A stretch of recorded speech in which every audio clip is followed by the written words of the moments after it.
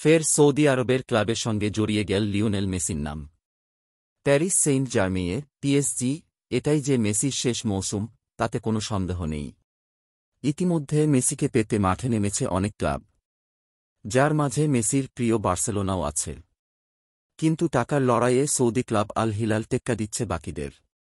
কিছুদিন আগে বার্তা সংস্থা এফপি দাবি করেছিল, মেসির সঙ্গে একটি সৌদি ক্লাবের চুক্তি হয়ে গেছে। সেই ক্লাবের নাম অবশ্য প্রকাশ করা হয়নি। এফপির দাবি ছিল, মেসিকে এক বছরের জন্য ছয় শূন্য কোটি ইউরো দেওয়ার প্রস্তাব দিয়েছে সৌদি আরব। খবরটি প্রকাশিত হওয়ার পর তীব্র প্রতিবাদ জানিয়েছিলেন মেসির বাবা এবং তার এজেন্ট হোরহে মেসি।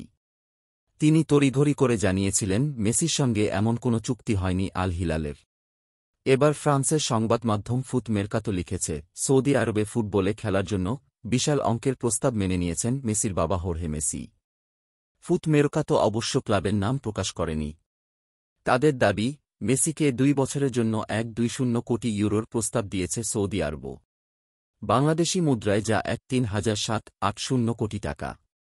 মেসি যদি সত্যিত্বেই সেখানে যান, তাহলে ফের দেখা যাবে চিরপ্রতিদ্বন্দ্বী ক্রিশ্চিয়ানো রোনালদোর সঙ্গে তার দৈরত যদিও রোনালদোকে সৌদি ক্লাব আল নাসর যে বেতন দেয়, মেসিকে তার দ্বিগুণ অর্থের প্রস্তাব দেওয়া হয়েছে।